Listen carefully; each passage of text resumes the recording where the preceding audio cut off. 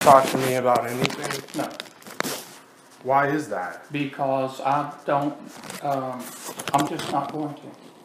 Have you, have you done any testing down here for perchlorate? That's all I'm gonna talk to you about. You may as well leave. Okay, I'm gonna just, can I, can I walk around? I'm a, No, you just need to. I'm an adjunct faculty member You here. need to talk to the dean. I have, they hung up the phone on me. Well, go in and talk with him. Okay, I've He emailed, is my boss. I'm not talking to are him. you a professor? I'm not. Okay, okay. So what is your position here? I'm not gonna talk to you anymore. You can find out from the dean. Okay. All right, sir. Well, thank you for your time today. Um, I really enjoyed talking to you on. So talk to the dean, don't talk to me. Okay. I really appreciate it. Okay, thank you. Thank you. I'm gonna walk around a little bit. No, no. Have a good day.